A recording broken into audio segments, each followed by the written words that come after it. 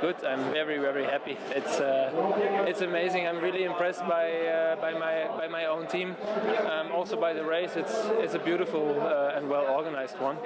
And uh, I think uh, I can really say I had an awesome time being here in Dubai now. And too bad that I have to leave tomorrow.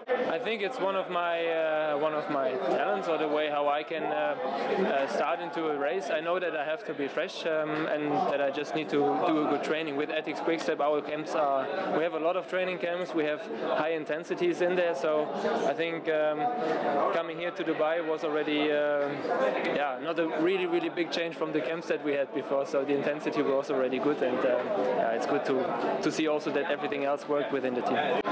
If you look to just to the finish line today, it's it's uh, really great to see that a lot of people are also coming here to to see us to support us. Um, a lot of people actually like cycling. This is the moment of the year where everyone is on the bike here in the UAE, and it's growing. So um, I think it has an important impact when we have more and more races also here, not only for the fans but then also for us professionals because it's a really really good way for us to get those intensive kilometers in good weather conditions for the um, season also in Europe. Then.